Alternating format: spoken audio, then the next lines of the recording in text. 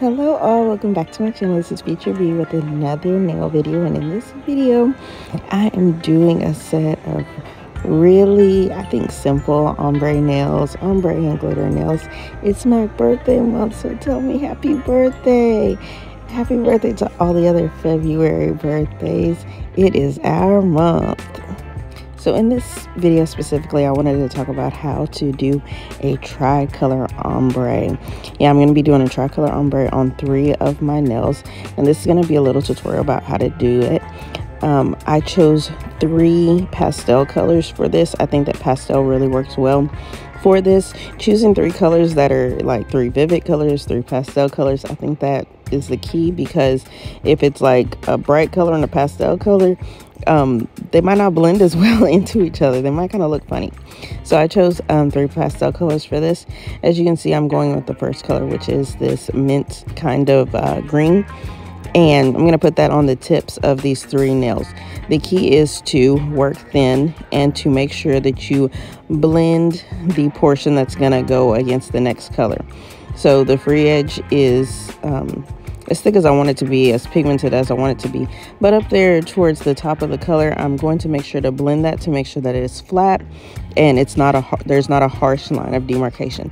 That is one of the keys to um, getting any type of ombre to really stick the way you want it to is to make sure that there is not a harsh line of demarcation because you will be able to see that. I can't stress that enough. You will be able to see it. So after I've done the um, bottom color on these three nails, I'm going to go in with the second color. The second color is this blue. It's a lighter, well, I wouldn't say it was a necessarily a light blue, but it's it, it's a blue. it's a pale pastel blue. And as you can see, I'm just going in with a little bit of the blue and it's going to be in the middle. I didn't want to use too much of it because um, we have to save space for the other color. But you want to use just enough and the very first thing that I do is to blend it. I want to make sure that it blends down with that green color and then I can take it up a little bit higher with another bead and make sure that that bead is flat against the nail because again it's going to have to blend in with the the last color that we're going to use. But the first thing I do is blend it in with the green. And to do that you want to use light strokes. Do not brush hard. If you brush hard you will brush the color down the nail and there won't be a pretty ombre. Um, I'm not doing a long ombre. This is just um, a real simple ombre right there as the colors meet and it's seamless why is it seamless? Because I didn't um, brush hard. I brushed really soft. And as you can see, I'm working with the colors. Um, they're pretty runny.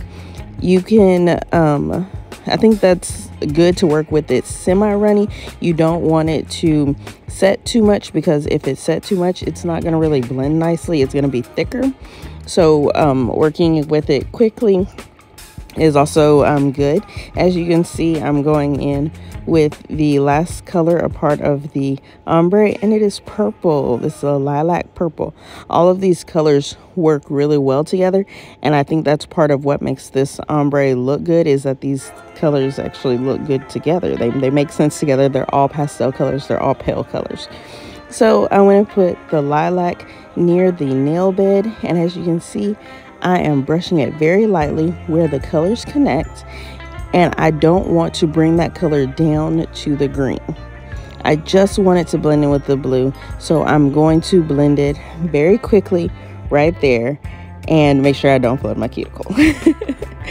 so as you can tell, all of the colors, I applied them all kind of running, but um, I wanted to make sure and blend them and make sure that they lied flat on the nail.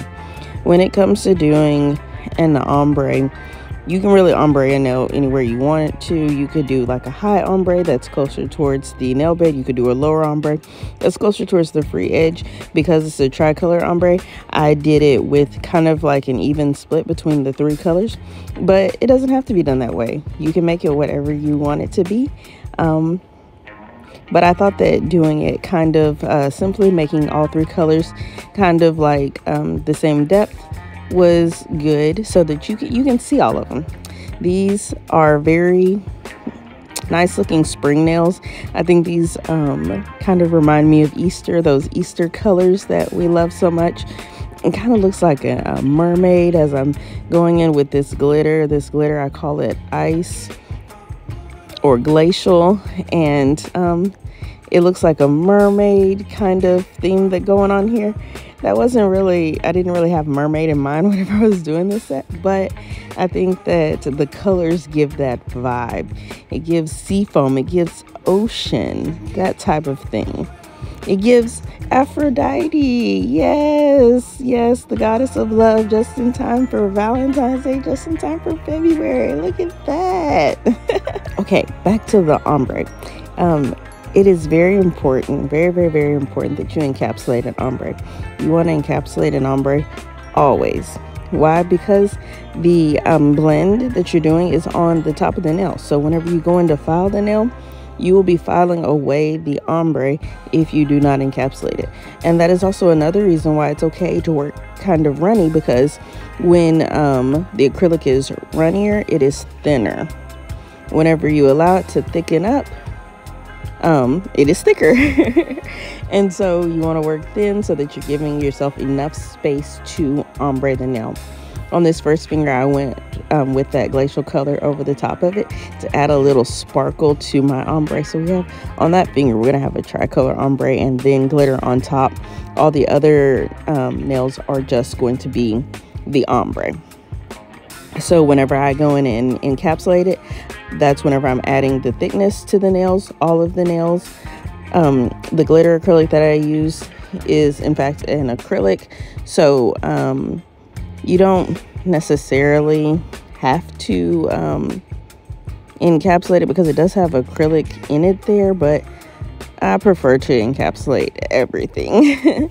if you stay ready, you don't have to get ready. Therefore, whenever I do the steps to do my nails, I do the same steps every time so that I don't mess up and forget a step. Whenever you change up your routine, you're likely to forget something. So um, I keep the same routine no matter what the style of nails that I'm doing. So whenever I go into encapsulate the ombre, I am making sure that I encapsulate the entire nail. We want to make sure that we preserve the work that we did. I did it rather quickly. This video is sped up a bit, but I want to make sure that we preserve the work because it is indeed work. As you can see, I have encapsulated the first nail and I'm going to go and do the same process with all of the others. Now, whenever you're working with multiple colors, whenever you're working with clear acrylic, you can sometimes get air bubbles in the acrylic. How do you avoid that? You avoid getting air bu bubbles by working with um, runnier acrylic, right? So if you're taking time to make sure that the acrylic is wet through and through, you're not working with a bead that is too dry, then um, you're not going to have air bubbles. And one way to also ensure that I don't get air bubbles whenever I am working here is I will go and touch the dried acrylic with monomer. You saw me do it just there on the middle finger. I touch the acrylic with the monomer so the acrylic is wet. And then I'm going to go in with my clear acrylic on top of that so that there are not air bubbles through. I hope that makes sense. But you can go and touch your acrylic with some monomer and then go in with your bead. It was a runnier bead and you can encapsulate the whole thing and you will not have air bubbles. I hope all of that makes sense. I also like to go in with these big kind of runnier beads because I can encapsulate an entire nail with one bead. The acrylic does not run that much, and I'm working with um, Mia Secret Clear right here. Um, the acrylic does not run that much that it is hard to control in doing um, the entire nail with one bead. In that nail, I did it with two beads, one for the um, to encapsulate the bottom ombre and then a cuticle bead that I use to encapsulate the ombre above that. Using one bead to do the whole thing, two beads, three beads, four beads, however many beads you use, do you. It all works. I like to use one to two beads whenever I'm doing something like this because um, it's easy for me. But, you know, do what works for you. Um, as you can see on the nails, I have filed and buffed them. Now I'm going in with matte top coat because I'm going to put some gel polish on top. When you're working with gel polish, you do not have to um, top coat. You can use like a base coat on the nails or, or you can top coat or you can use nothing on them and then go in with your gel polish. But I like to because it helps to work with a clean surface. So it, it adds something into it, making the surface a little bit more flat. Buffing the surface will make it flat as well, but it also works to go ahead and top coat or base coat the nails and then going in and doing what you got to do with the gel polish. So on the first finger, the pointer finger as well as the pinky finger, I'm going to do a V French. So you're still going to see that ombre, but then the French on top adds a little cutesiness to it, adds a little something else to it. you know, I couldn't leave it just as it is. It had to have a little something extra. And I think the French makes those two nails a little bit extra. On the middle finger, I am going to go and outline the nail with the white gel polish. And then on the two kind of accent nails, I mean, since all the nails are different, is there really an accent nail? Hmm. but on the um, two nails that are entirely the glitter acrylic, the white nails, I'm going to go in with blue gel polish and I'm just going to make some like random kind of line kind of things. I don't I don't know I don't know what it is, but I'm I'm going to do it. Okay? Just watch. Just watch. I'm sorry, this portion of the video is a little blurry. It's not as clear as I would have liked it to be, but couldn't tell that as I was recording, so I'm sorry. I'm very sorry. But the lines are haphazard. There's no uniformity to them at all. I just put lines where I wanted them to go because I wanted something to go over the glitter and I wanted the glitter to shine through. I don't know. It was just, it was very ethereal. It was very mermaid-esque. It was fun. It was, it was pretty. What do you think? Would you wear these nails? Do you like them? Did you learn something?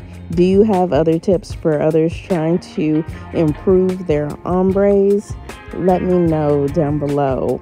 Please like, comment, and subscribe. You can follow me on Instagram at watch underscore the underscore progression. And I'm about to come in and top coat these nails and show you the final look. I hope you like what you see. If you have any comments for me, please do let me know down below.